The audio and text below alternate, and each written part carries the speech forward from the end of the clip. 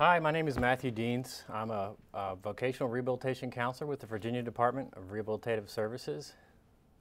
Um, today I want to talk to you about uh, the eligibility and prioritization process of accessing the state vocational rehabilitation services. Um, currently I'm working as a statewide coordinator, uh, helping to support the VR offices in our state to, uh, with technical assistance and training of counselors in the offices throughout the state. Um, I've worked with DRS um, in Virginia uh, way back when I was 16 years old and as a client of the agency uh, as a result of a car accident that I was involved in. Um, I've served as a VR counselor uh, working with adults, uh, having an adult caseload as well as a uh, transition uh, caseload serving five high schools in the Chesterfield County area of Virginia. Um, Today we're going to be hopefully um, helping to dispel some myths that may be involved in the uh, eligibility uh, and, and, referral process depending on um, your school systems. Hopefully uh, the following questions will, will be answered uh, as a result of this presentation. You'll understand that what uh, vocational rehabilitation services are and why you may need them. Um, you'll understand what the referral application and eligibility determination process is for VR agencies and you'll know what to expect when you approach VR for services.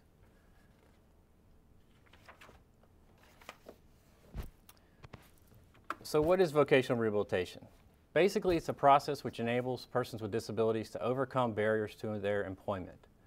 Uh, services range and, and, are very comprehensive, and vocational rehabilitation isn't necessarily only provided by VR agencies. There are several different uh, service providers in the community that also uh, are considered involved in the vocational rehabilitation process. Um, VR services range uh, from vocational evaluations to job placement, career counseling, vocational and academic training, rehabilitation and assistive technology, physical restoration and personal assistance services. Um, VR works closely with private and nonprofit centers for independent living and as I said, as well as private community rehabilitation providers, or CRPs, known nationally. Here in Virginia, we call them ESOs, or Employment Service Organizations, otherwise known as job coaching and supported employment. We also work with medical equipment vendors, um, as well as community service boards, to help serve the needs of the student or client. Um, so vocational rehabilitation services are, supports the needs of individuals based on their functional limitations. Um, employment for vocational rehabilitation purposes is defined as working independently in the community, earning minimum wage or better. That's the goal, at least. Transition services are specialized VR services for youth with disabilities who are still enrolled in post-secondary high school education programs. Um, transition services help prepare students for their transition from high school to employment and life after high school. Um, transition services include the full range of regular VR services based on the student's timeline of their transition planning. Typically, consultations with IEP teams are very normal during, for transition. Um, meeting with students and, or parents that may be interested in services and learning more about what vocational rehabilitation is. Um, it's often for uh, transition counselors to provide evaluations uh, that are specific for the student to help determine what their career goals are and what supports they may need to pursue those goals. Um, employment supports when the student is ready to go to work involve a, a coordination and collaboration of VR agencies as well as the school systems, parents, and other providers such as community service boards, all part of the, what we call the transition team. So when should the transition team include VR services? Basically, our motto is early and often. How early should you start? There's really no such thing as too early as far as transition is, goes. If you have questions or concerns, it's important that you speak up and ask questions uh, someone in, in who is uh, involved with uh, the VR agency. You can ask your school teacher or case manager, uh, as well as the local office um, is, is easily found um, in, the, in the directory. Um, it's ideally, transition in, involves vocational rehab agencies three years out from graduation. Uh, and graduation uh, is a sometimes a moving target, uh, but basically that means exiting high school by either obtaining a high school diploma or accepting a special education diploma or certificate or aging out at the age of 21. Students' goals frequently change, as I said, uh, resulting in the VR process lasting uh, anywhere from several months to even years. Uh, it's not uncommon for transition uh, cases to last multiple years because you have to take into account uh, picking up a student in high school who may be interested in going on to college or additional training programs and then going on to employment. Transition services from the VR agencies uh, carry that student from high school all the way to that first job or that agreed upon employment goal.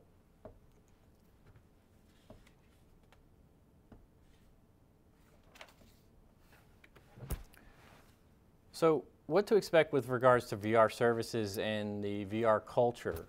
Um, transition counselors tend to have large caseloads. As I said, they are working with students who are in high school um, and they are referred um, on a regular basis and consistently, um, which is a good thing.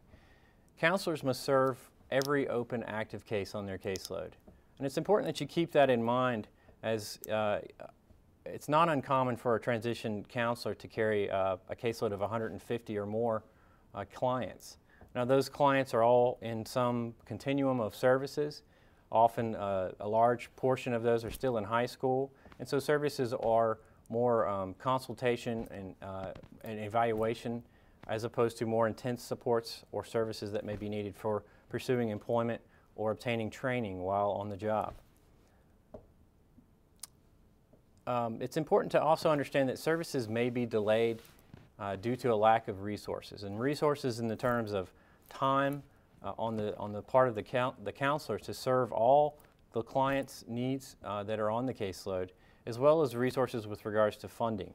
Funding uh, changes every year.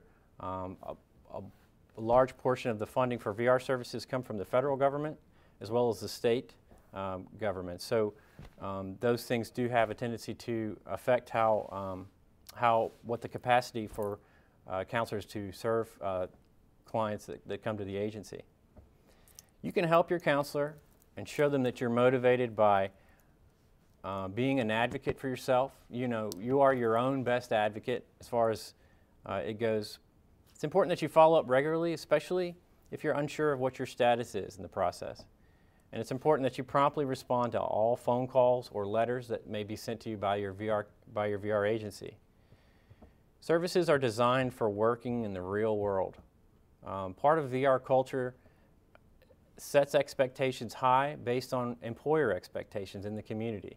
We um, partner with employers um, on a regular basis to understand what it is they need from workers, and then we then take that information back to our clients uh, to help them understand what it is that they're expected on the, on the job. Typically, employers expect about 100% effort. Anything less than that, you may be fired. I say that because um, sometimes we have issues with uh, attendance at school. Uh, and these are uh, raised concerns uh, during uh, the vocational rehab process because they may be uh, having issues at work.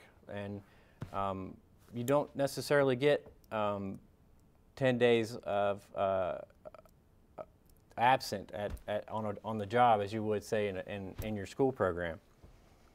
So it's important that as you access VR services that you understand what the culture and expectations of VR has for their clients. The basic expectation is that you want to work and that you need services because, that you, because of, of your disability. Um, you should not take your services for granted. The reality in most states is that transition counselors have large caseloads and serve several different uh, clients at a time. Another important difference between school programs and services for folks with disabilities and adult programs is a shift between a service system that's based on entitlement to a, a system that's based on eligibility. Uh, under the federal law, uh, special education services are considered entitlement in the sense that by law, services are provided to you on the basis that you have a disability. Um, students have services until they age out or get a diploma. And schools are, re are required to provide a free and appropriate public education for all eligible um, special education students. When you look at the vocational rehab services uh, with regards to the shift, uh, documentation is needed in order to prove your eligibility. That includes documentation of your actual disability from school records or doctor's records, and we'll talk more about that in a second, but also documentation that you actually can work. So just because you have a disability doesn't necessarily mean you will be eligible for services. And that's that understanding that um, you may um, need to have to wait for services. Not everyone who applies for, for VR services are eligible. As I said, they must meet the eligibility criteria. Um, and services are provided only if the agency itself has enough staff, capacity, and resources to serve those who approach the agency for services. Um, and, and we'll go into a little bit about what happens when, a, when an agency, state agency, is unable to meet the, the, the demands of the, uh, of, of, the clients that approach the agency. Um, what, they go into what's called an order selection. So the basic eligibility criteria for vocational rehab services are that you're eligible to work in the United States, and that includes uh, citizens and non-citizens with a work permit, um, you'll need documentation of residence for both. Uh, typically, we look for a government ID or proof of uh, address, things of that nature. Um, the second thing is that you have a documented physical or mental disability or impairment that results in a substantial impediment or barrier to employment. VR services are needed in order to achieve employment. Uh, you have to be able to demonstrate that although you have a disability, um, that impairment may be minimal or uh, that, that services aren't clear as far as why you need services in order to go to work. Um, and the last is that the applicants for, for services, because there are state agencies, must live, work, or go to school in that VR state. And for um, certain individuals that receive uh, government benefits such as SSI or SSDI, uh, they are assumed to meet the first two criteria um, because of the eligibility criteria for those programs, um, and, but they're still require documentation that the, our services are needed um, and that they still um, live in the current state that they're in. Um, the, with regards to um, not the, the counselor can presume that they can work with VR supports uh, and with, with the rare occasion that there is clear or convincing evidence that suggests otherwise. Typically, this is the case. More extensive workplace uh, evaluations will be conducted unless that these present a risk to the client or to the uh, persons around them. And these are very rare situations. Um, and as I said, not all people who have a disability need VR services to go to work, especially those that have very minimal disabilities or their disability doesn't present any limitations as they pursue employment goals. As I said, the order of selection is, a, is a, an official process uh, or statement that states make for uh, basically stating that the VR agencies do not have enough resources to serve everyone that applies for services. Um, eligible clients that are, are individuals that apply for services and are found eligible are then prioritized further based on the severity of their disability. So you have to not only document that you have a disability, but how does that disability affect you? And that's where we get into the, the discussions about functional limitations. Um, the, this includes an assessment of records, intake observations of the counselor, and any discussions with the students, parents, or, or referral sources that can provide further information as to exactly how the disability diagnosis affects their functional ability to pursue employment. Um, and the VR looks at possible, uh, seven possible work-related functions that can be limited by a disability. Um, we serve those who need us most first. Uh, we have a term for that. Consider, they are considered most severe disabilities, or MSD. And the, um, with regards to the serious functional limitations, uh, these are things that dis- where, how the disabilities affect individuals' ability to function, as it says, the, f- the functional limitations.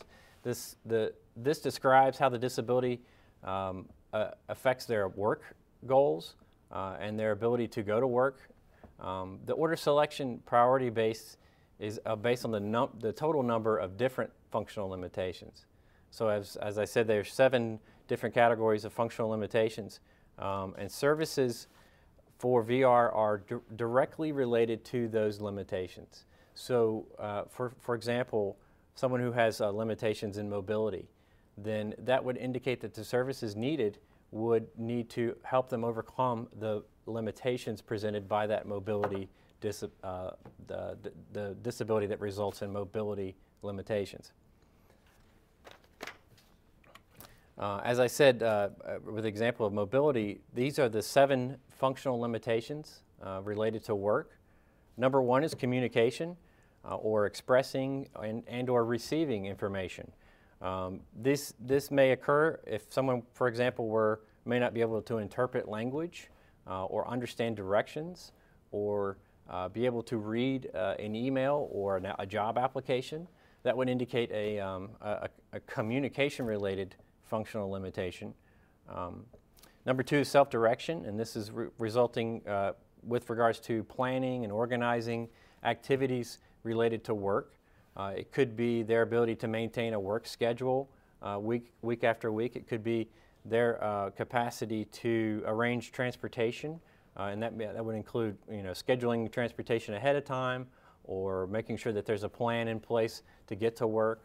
Um, Number three is self-care, and as it is pretty self-explanatory, this is in regards to uh, anything related to the personal care of the, of the person with a disability. Uh, things such as um, hygiene also come up uh, with regards to this functional ability. Um, number four is mobility, as I said, and this is basically the function of getting from place to place. That includes within the home, uh, into a car or into a vehicle, out of a vehicle and onto a job site. And then within the work setting, how do they get from place to place? It, would that present barriers to employment? And if so, that may indicate a functional limitation uh, with regards to that disability.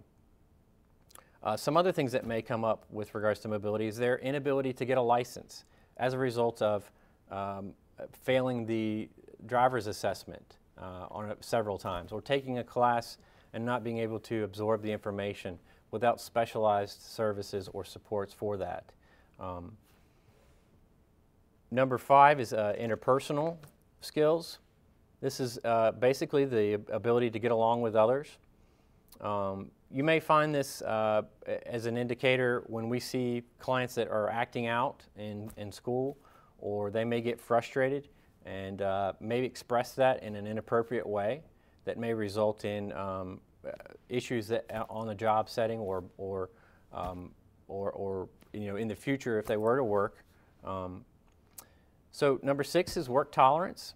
This is the ability to tolerate work activities. So there, this includes the physical ability to lift and carry and walk, and uh, it also includes psychological tolerance related to uh, stress.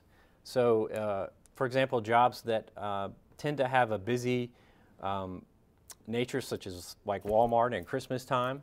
Uh, if someone with a disability would really be frustrated um, and, and get uh, confused in those types of situations, that would be an indicator that the, the, their ability to tolerate certain work settings would be limited. Um, and the last one is work skills, and this is basically their ability to learn work skills. Uh, sometimes there may be a need for uh, special visual aids or task lists to help them learn and, and commit the information to memory. Um, so as, as, students or clients are learning job skills, um, if for some reason you had the concern that the supervisor on the job alone would not be able to help this student learn the job, or they may get frustrated easily or say, I don't have enough time to devote to this person based on what they need, um, that would present some employment barriers related to work skills. So as I said, uh, the priority categories, um, uh, there are four priority categories.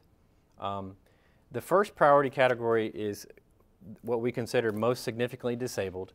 Uh, this is defined as three serious functional limitations um, in three or more areas. Uh, they also have to demonstrate that they may require multiple services, that's defined as two or more, over an extended period of time, and that's defined as six months or more to achieve employment. That six months or more, uh, that starts at the moment that the uh, student or, or client is actually receiving services, not necessarily when they apply for services, but at the moment when we have determined what they need in order to go to work, um, and they, that time period to, uh, to obtain employment uh, may be uh, extended uh, beyond six months or more based on our best guess. Um, there are number two and three are what we consider significantly disabled. And um, as, as you can probably presume, serious limitations in one or more areas for number three, and, and serious limitations in two or more would be number the priority category two. Again, this, these two categories still require that, that uh, the client demonstrates that they'll need multiple services over an extended period of time in order to achieve employment. And then the last category would be persons with disabilities that do not demonstrate functional limitations or serious functional limitations as a result of their disability. Um, and they may not also uh, need multiple services over an extended period of time. And this would be the last priority uh, of services as a result of an order of selection. So th the following factors um, are not included when one ap applies for services uh, with the VR agency. Um, the duration of residence, and that refers to how long you've lived in that particular state or how long you're planning on living in that state. That information should not be taken into account as a result uh, to determine eligibility for services. Eligibility cannot be based solely on the diagnosis or the, the disability alone. Again, we look at the disability related functional limitations, not just the diagnosis. Uh, we don't look at age, gender, race, color, or national origin as we assess the uh, eligibility for services. Uh, we also assess uh, eligibility without regards to the type of employment goals they may have or outcomes that they have as they approach services.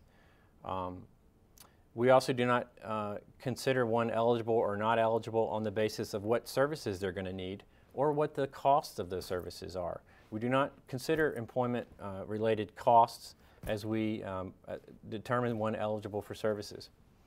And the, lastly, we do not consider the income level of the applicant or their family as we determine eligibility for VR services. Now, I should say that income information may impact how services are funded later, such as supported employment training or tuition for college or transportation to go to work. But that's not considered during the eligibility process. That's later down the road when services are determined based on an, an assessment. The big thing is don't let the wait list scare you off. We see this every, uh, every time we have a wait list in, here in Virginia. Referrals tend to drop off. Um, it, it's, it's interesting because our wait lists tend to only last for a few months.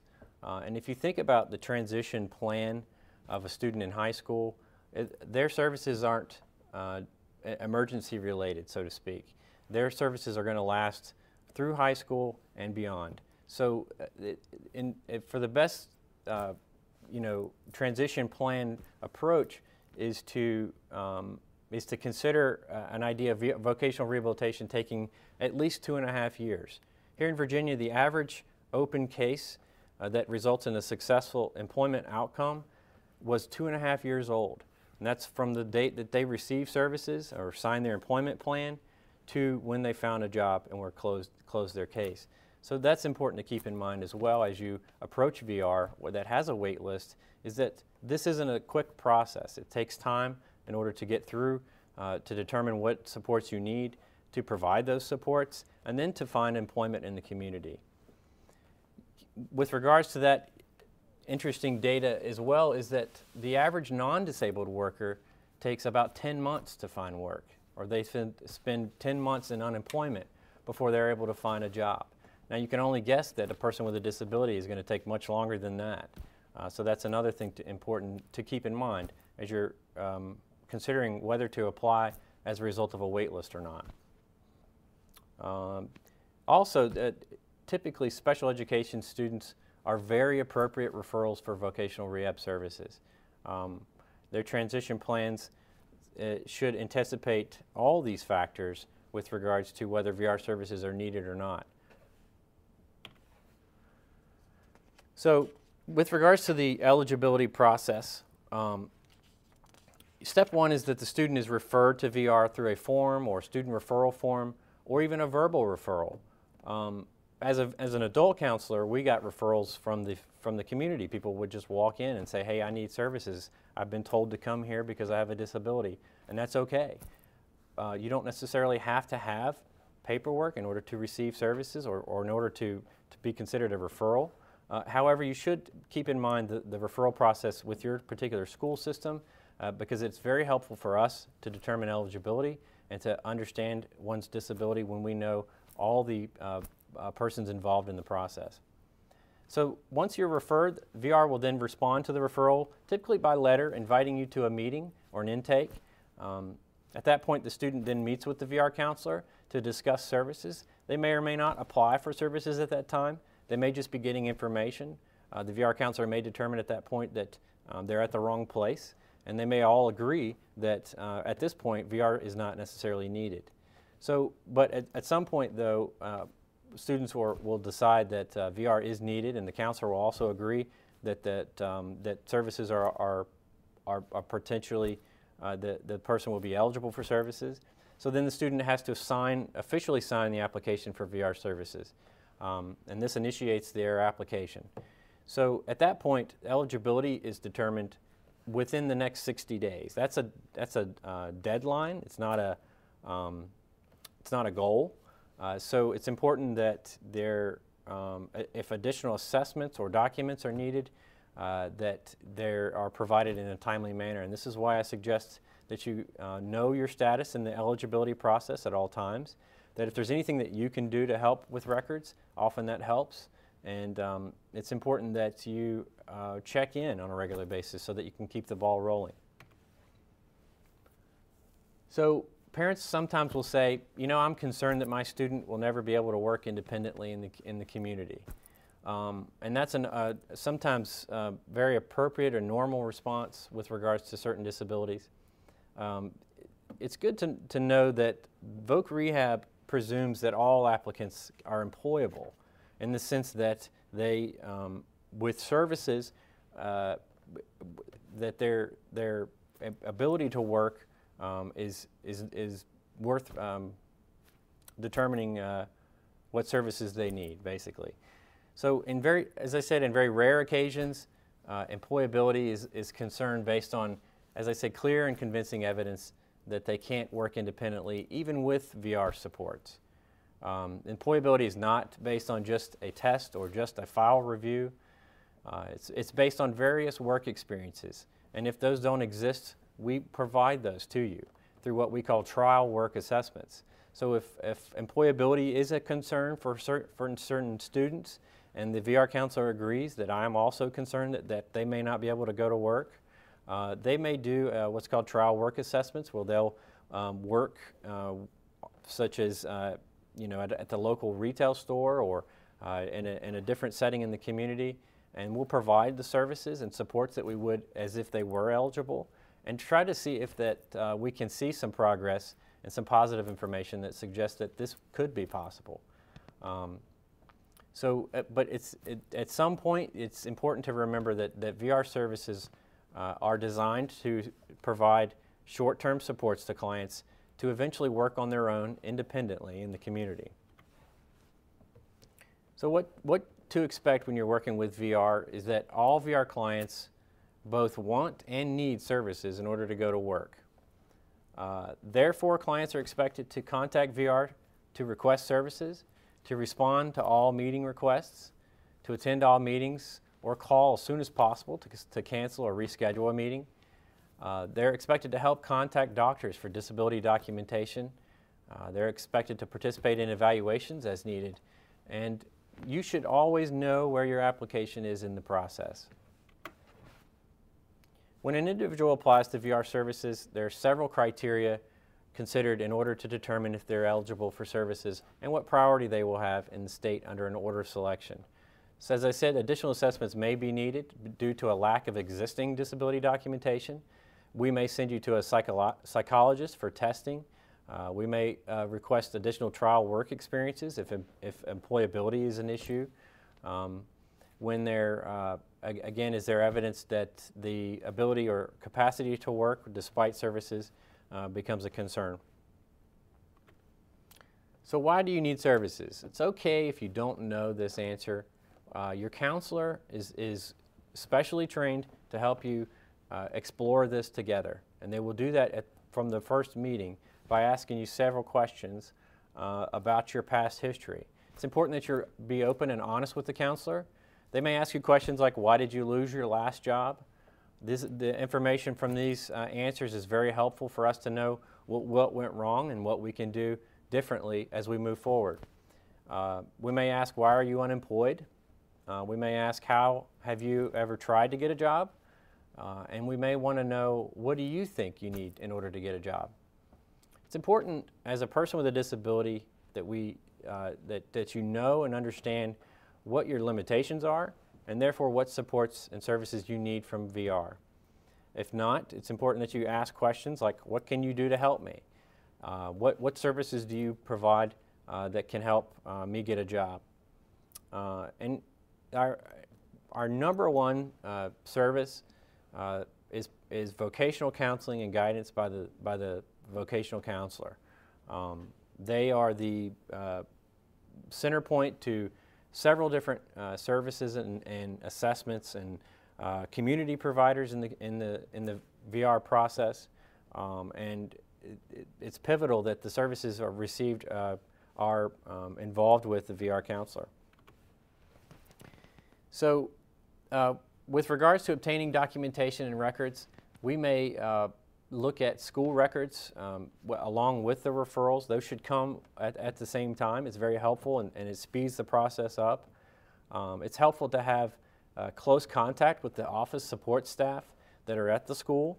Um, as, a, as a transition counselor, I had the secretaries of the special education departments phone numbers and emails uh, as opposed to trying to go through a teacher or through a case manager.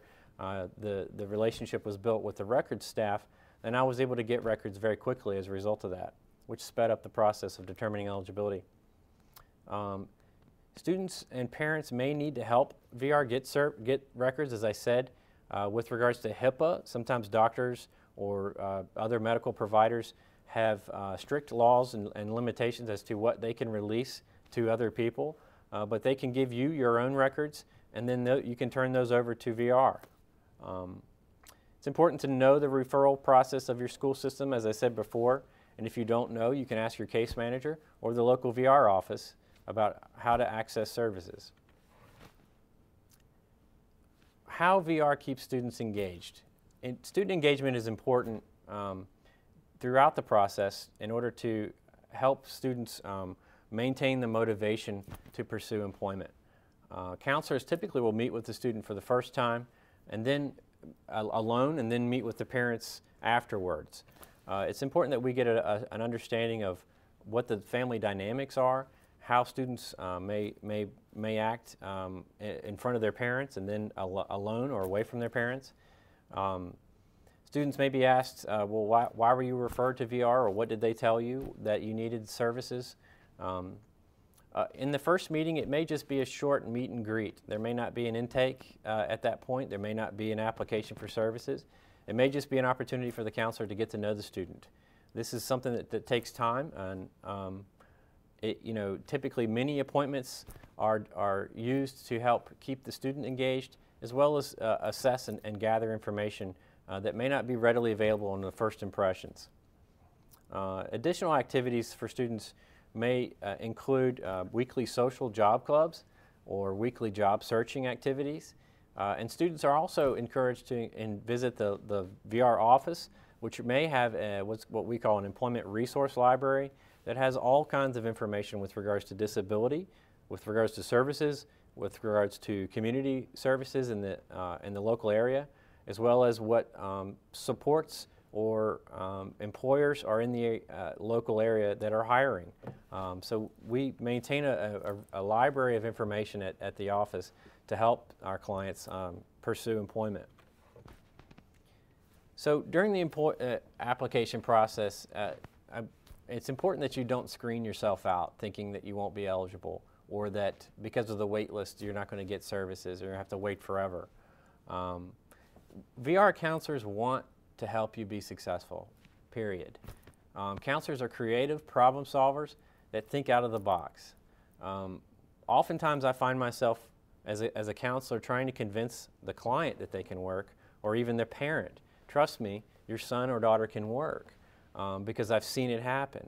Uh, you are typically in a very small, uh, you know, confined area. Uh, as a person with a disability, you may not know someone else like you, um, but uh, with with the VR agencies are, are very experienced and have seen a variety of different disabilities as well as services. And we're constantly trying to uh, sharpen our, um, our ability to serve clients, especially those with more significant um, impairments that we're beginning to see more and more of. Um, and so the um, eligibility decisions uh, typically are made as soon as possible. There's been times when I've been able to determine eligibility at the first meeting. By the end of the meeting, I knew that they were eligible, the decisions were made, and we were able to make another appointment to get started with services. Um, so that you don't have to wait 60 days to, to receive services, or even don't wait 60 days to check on services or check on your application for services. Um, throughout the whole process, it's important that you ask, what can I do in the meantime?